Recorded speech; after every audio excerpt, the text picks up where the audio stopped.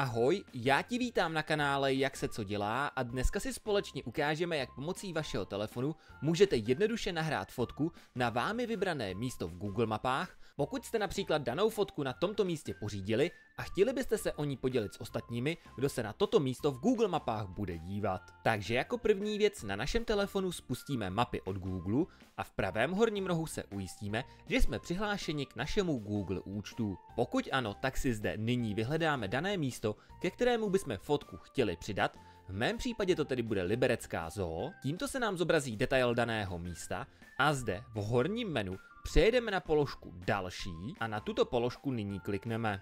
Tímto se nám zobrazí podmenu a zde klikneme na možnost přidat fotky. Následně stejně jako já můžete být dotázáni na oprávnění pro aplikaci mapy, takže zde klikneme na položku povolit, tímto se nám zobrazí galerie našich fotek v telefonu a zde si zaškrtnutím vybereme danou fotku, případně více fotek, které bychom k tomuto místu chtěli nahrát. Poté, co máme danou fotku vybranou, v pravém horním rohu pokračujeme dál kliknutím na text zveřejnit. A v tuto chvilku, když si někdo bude prohlížet dané místo, už zde může narazit na fotku, kterou jste k tomuto místu přidali. Pokud se ti video líbilo nebo ti pomohlo, tak tam určitě nezapomeň dávat like, pokud znáš někoho, komu by video mohlo pomoct, tak budu moc rád za sdílení a já se na tebe opět budu těšit na kanále Jak se co dělá.